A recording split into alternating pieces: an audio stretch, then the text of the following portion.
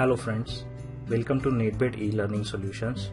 Friends, today we are going to solve one problem wherein function keys may not be working in your Microsoft Excel software. Function keys are very much important and there are quite a few shortcuts available uh, to be used with function keys in Microsoft Excel.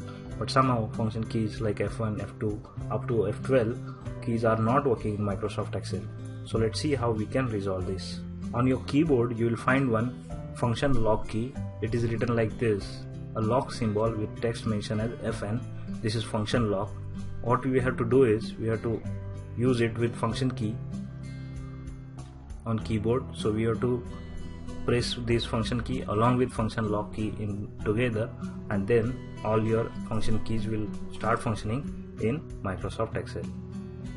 I'm sure this small tip will be useful for you and you must have liked this video. Thank you. Thanks a lot